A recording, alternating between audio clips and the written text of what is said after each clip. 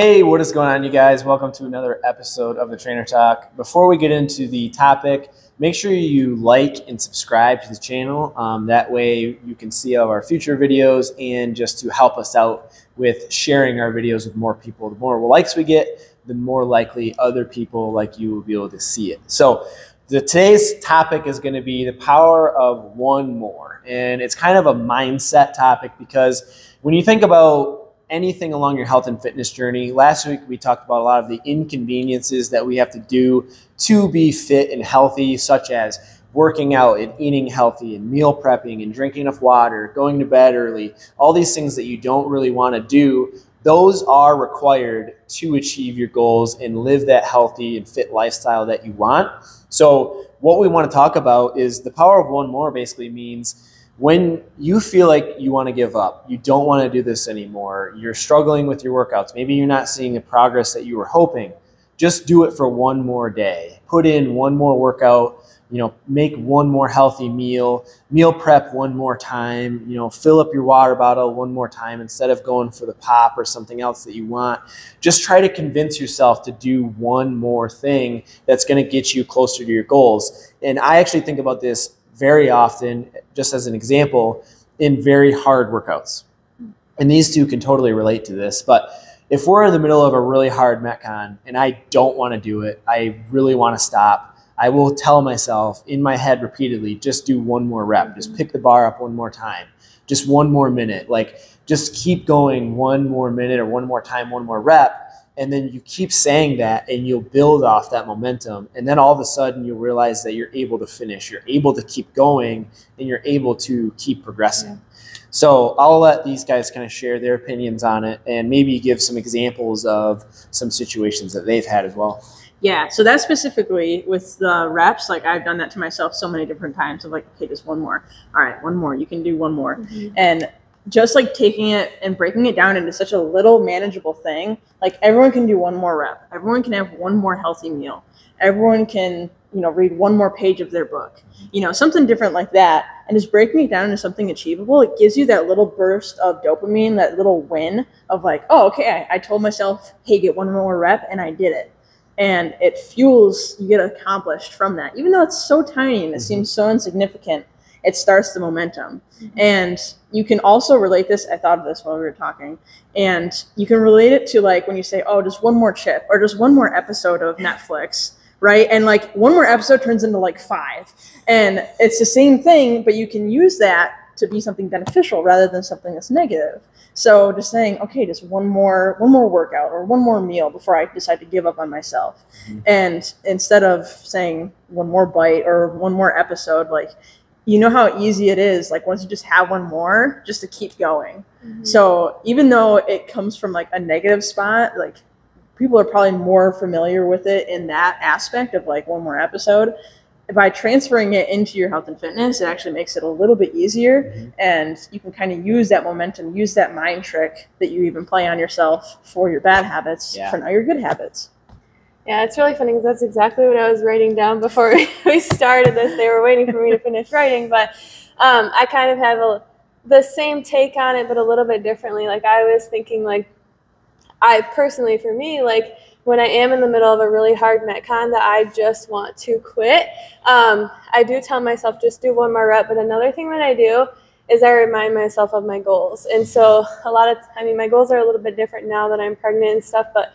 before that, my goals were I want to be good at CrossFit. Like I want to get better at metcons, want to get better at my lifts. And so when I'm in the middle of a really hard metcon, like I remind myself of that long-term goal. Like, mm-hmm. yeah, these toes to bar suck. My forearms feel like they're going to fall off, but I'm the only way I'm going to get better at these is if I push and continue to do it. So it's kind of a hard thing because like when you have a long-term goal, you don't want to think about it so much that you get discouraged that you're not to that goal yet, but you also want to use it as a as a motivator to say, okay, I want to lose 20 pounds. I want to be able to do a handstand walk. I want to be able to do a double under, whatever it is.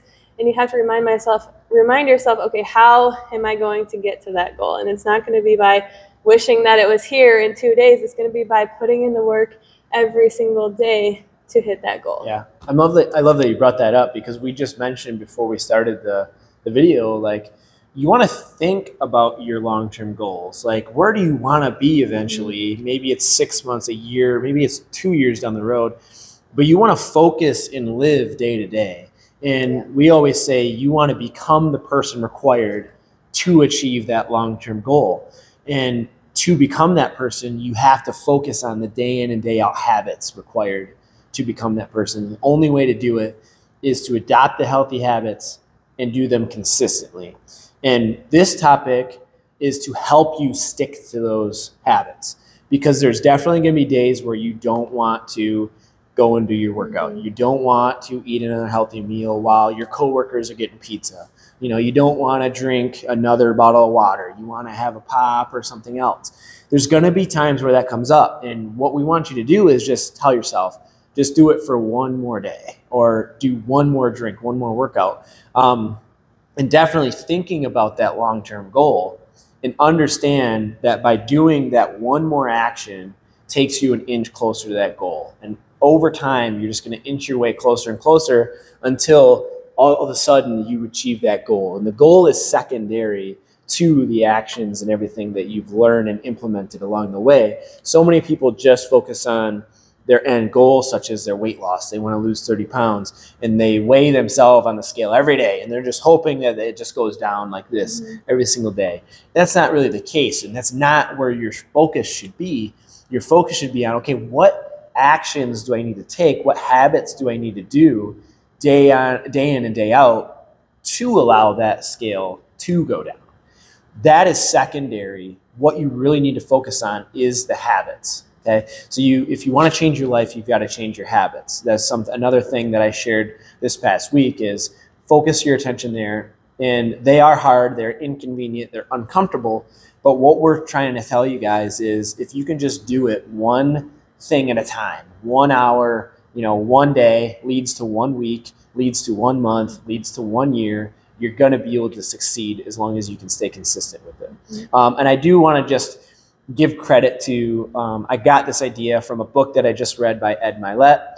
And this was really a eye opener or really um, became a big part of his life because his father was an alcoholic for the first 15 years of his life.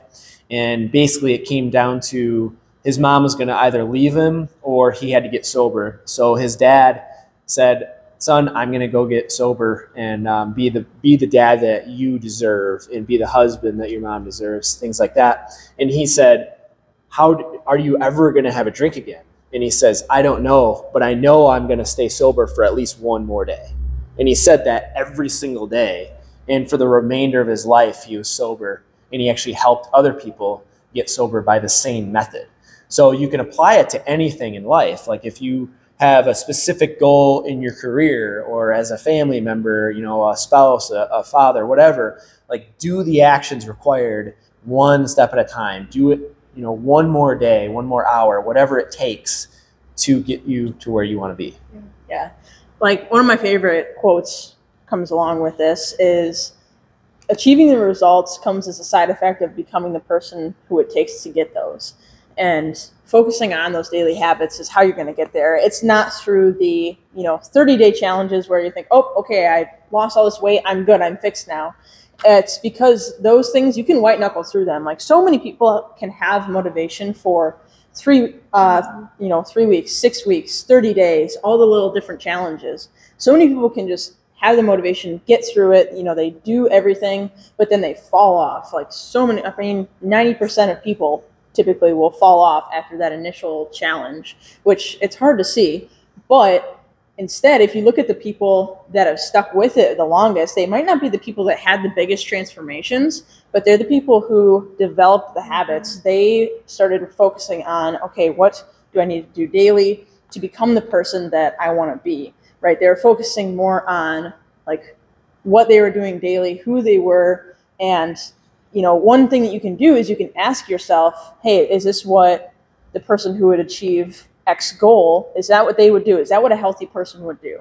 And I know we've talked about that before. And then, you know, basically separating your different decisions throughout the day of like is this a smart decision that's going to take me towards my goals or is this going to take me away from my goals and just asking yourself those things and usually if you can have the space between you know if you're going to you see something on the counter that you want to eat like a you have treats out on the counter.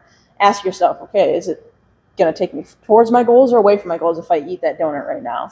And it's a pretty simple question. It's like no it's not going to. So usually you can if you have a couple of seconds at least to have that question pop into your head and have it for yourself on repeat it becomes a habit itself of just asking yourself am i making the choice that's going to take me to my goals and then that's how it just ends up compounding over time by having that internal dialogue with yourself Mhm. And at that point, you can say, I won't have that donut just for just one more day. yeah Yeah. And Yeah. then you could keep that going um, until you don't want it anymore. Because a lot of times people like, especially when they start a new diet plan or workout regimen, like, you know, it becomes really hard for the initial couple weeks. Um, takes a while to get into that routine. But then all of a sudden you learn to enjoy it. Like we have so many people that love coming to fit camp and to class Mhm. um, love coming to get their workout in. They enjoy their healthy meals. They enjoy drinking their water. It just takes getting past that initial kind of break-in period, developing that habit. Um, and a very easy method is asking yourself, is that going to take me to my goals?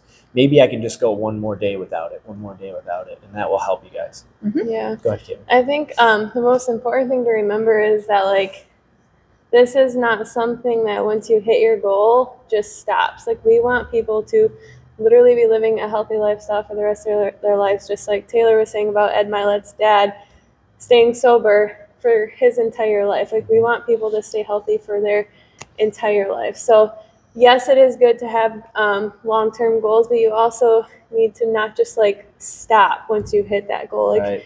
and make your long-term goal not like oh i want to get fit for my wedding or i want to get fit for a cruise or a vacation um, because those are things that okay once you have your wedding like are you just done after that um, no you want your long-term goal to be something deep like something personal like i want to be able to keep up with my grandkids i want to be a better wife mom spouse whatever it is so um, just thinking about things like that when you are coming up with your long-term goals Yeah. and speaking of which, like I've had a lot of conversations with people, and a lot of the goals that I've been hearing is like, I want to, you know, see my, I want to walk my kid down the aisle, or I want to see my grandkids grow up and be able to play with them. And those are Yeah. deep, powerful goals that you can set your sights on. And then basically, what we're trying to do is break it down. Okay, what do you need to do every day mm-hmm. to become that person? And then you know you know yes we run challenges and stuff like we have six week challenges and in the past we've done 28 day challenges and those are meant to be the motivator to mm-hmm. get you get your foot in the door kind of take the first step but they're not meant to be a fix all they're not a quick fix we don't believe in that kind of thing. We're not trying to help you lose 30 pounds in 30 days. We're trying to help you learn at least one new habit and implement it into your life within that Mhm. time frame and make sure that you keep building on that.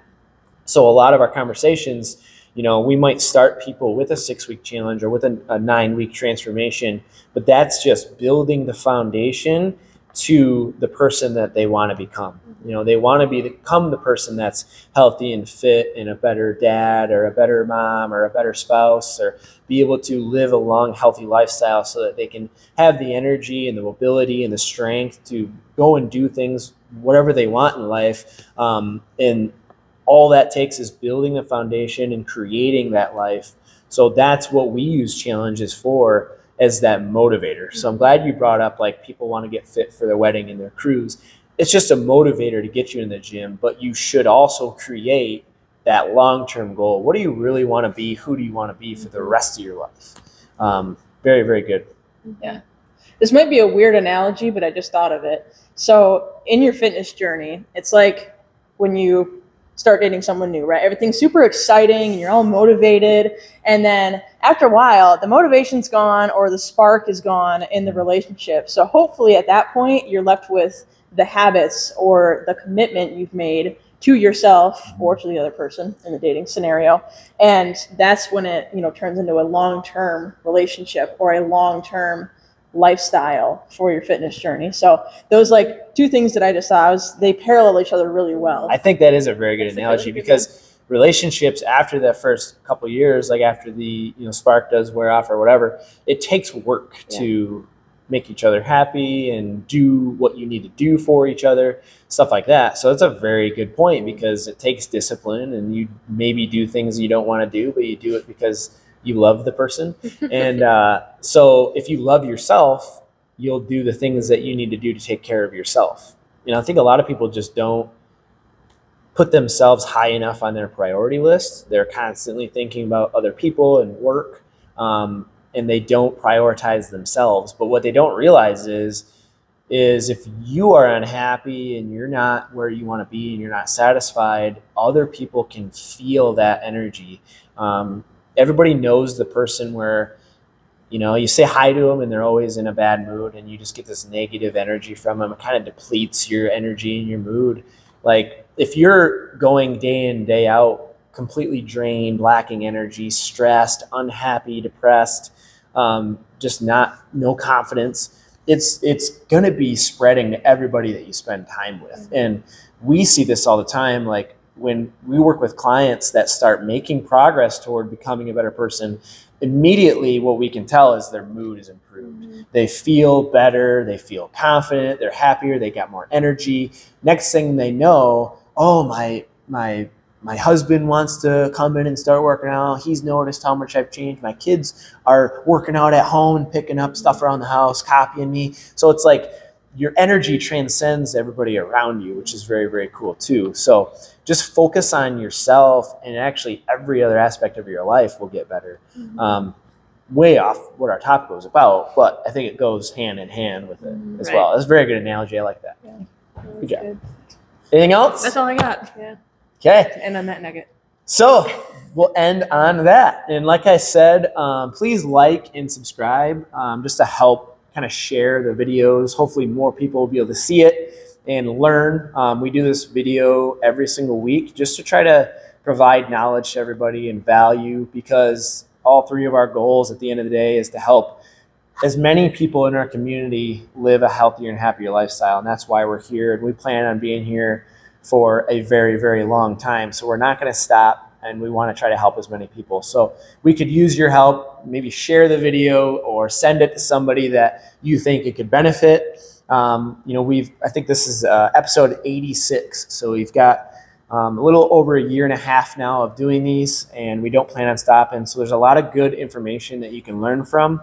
Um, I actually made a post. You can literally watch every video we've made and probably become the person that you want to be and live the best life possible just from the information you learn from these videos. So we want to provide that value to you, um, and in hopes maybe work with you someday, whether it's training, coming to the gym, coaching, classes, whatever it is. We want to help you get to where you want to be. So until then, stay healthy and have an amazing day. See ya.